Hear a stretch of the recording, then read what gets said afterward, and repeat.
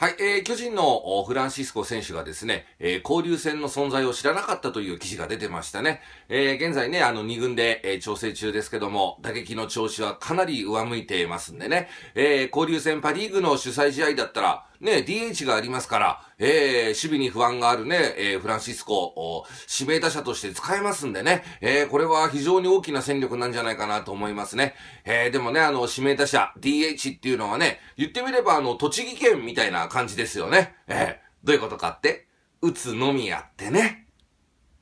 ねずっちです。えー、ちょっとベタですが、また。